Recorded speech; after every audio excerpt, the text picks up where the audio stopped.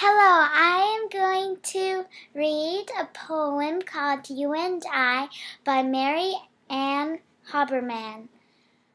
Only one I in the whole wide world, and millions and millions of you. But every you is an I to itself, and I am a you to you too. But if I am a you and you are an I, and the opposite also is true, it makes us both the same somehow, yet splits us each two. It's more and more mysterious the more I think it through. Every you everywhere in the world is an I. Every I in the world is a you.